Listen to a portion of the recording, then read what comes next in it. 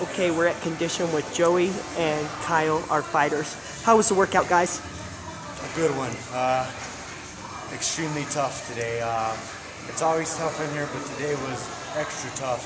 Heck Uh, yeah. I knew, I knew we had it. I knew you had it out for us when we came in here. and You were pointing and laughing at us. So. Kyle, what's your take on the workout? It was tough. My hot still pounding. Ready to get my breath. Nice. yeah, this was a white T-shirt when I started. Now it's, now it's brown. That's for me. laying on the Okay. ground in between sets. Nice work, guys. Thank you, Kelly. Working it as usual, team Conditioned.